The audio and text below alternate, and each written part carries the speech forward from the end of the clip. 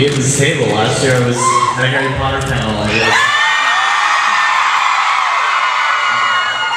and nobody went because everybody was at the panel.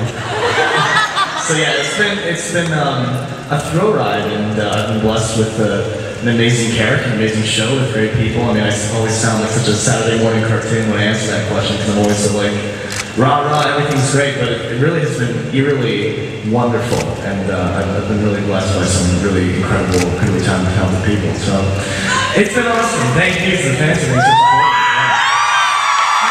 Have indication where uh, Blaine and Kurt are headed in season three?